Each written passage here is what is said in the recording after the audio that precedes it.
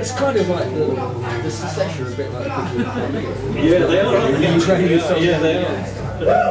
Get political there. This is a song about the people from the south who uh, changed sides towards the end of the Second World War, the Second, uh, the Civil War, and it called the secessionaries.